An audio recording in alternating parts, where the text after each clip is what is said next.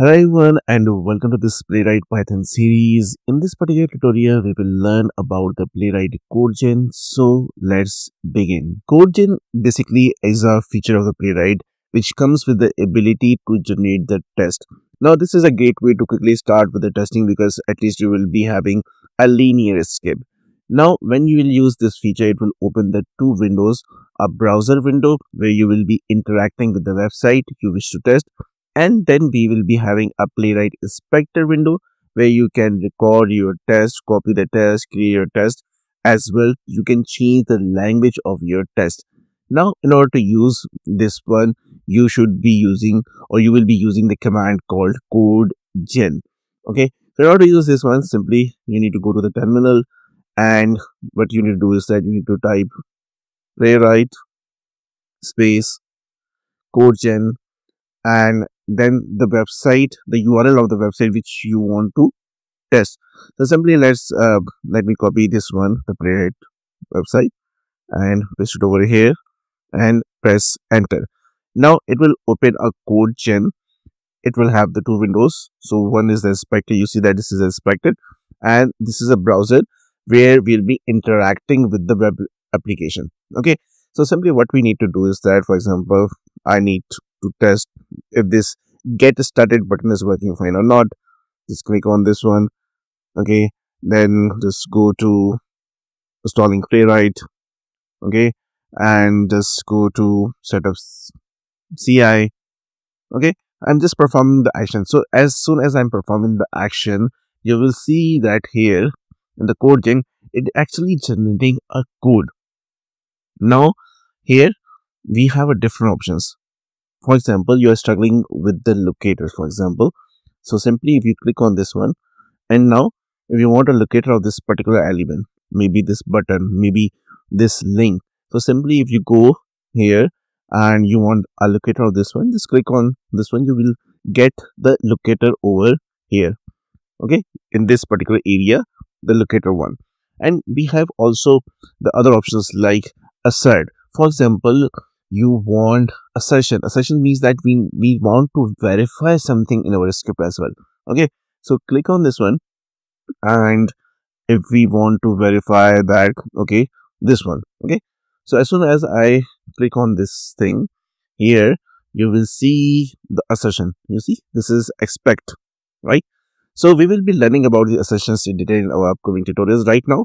Just understand how this code gen works and here. Uh, we have this particular button which is assert text. So if you want to assert some text over here so this particular text you want to assert just click on this one and you see that assert that the element contains this text okay?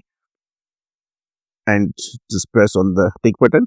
So again you will see that this particular command will be here right now okay? And then uh, we have this assert value if you want to assert a value in a similar way okay? If you click on this one and if you want to assert particular value you can do it. Now then we have this assert snapshot. Just click on this one. And if you want to assert this one you can simply do this. So here if you go and you see that we have log and area. So here you see that the link is basically html report. And here we will be getting the locators. And here we are getting those assertions over here. Now if i move this over here and here you will see that again we have pretty much same options like uh, pick locator. We have again this assert visibility and then assert text assert value. Then we have assert snapshot. Then if you want to copy this one you can simply copy this one. If you want to change the color to the dark mode you can do it. Then if you want to change the library so simply go here. If you need a code for the PyTest so just convert it into the pytest because we are using python. So here we will be using python pytest uh, plugin. So we need to convert into this pytest so, so that we can have the pytest code for this one. And if you're using uh, maybe uh, java you want a junit code so simply click on the junit. And if you want some json or some some other like js node.js code right? So this is the node.js code basically okay and now uh, you can simply copy from here you can clear the code from here and you can restart you can record from uh, where you left. So you can perform all these options from here. So for example we go to this PyTest and um, I need this particular code. I just copy this one from here and simply if, if you want to close this one just close this one. And here what I'll do is that I'll simply go to my test folder and go to new go to new Python file and I will say test underscore code gen and I just paste this code which I just got from the code gen okay? So what happens is that you have at least a this is a linear script everything is written inside this particular test right but in actual when we are working with the automation so we will be working on the frameworks we will be following the page object model design pattern. So there are a lot of things where we will be actually you know changing our linear script to the pattern like page object model okay? But the good thing is that at least you can start with the linear script. you don't need to write each and everything. You don't so basically it's, it's not about generating the code only it's help you with the locators right? It, it can help you with you know asserts the verification of your application as well. So you don't need to write these things from the scratch. Now here it says that uh, there's some problem with this click on install that's okay. And then we need a page okay? So once it will install you see that it's installing the package right?